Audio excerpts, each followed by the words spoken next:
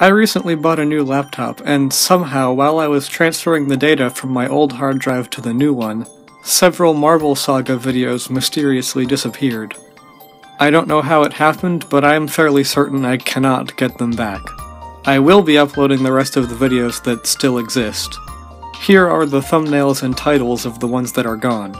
I'll leave it up to you to imagine what we talked about in these videos.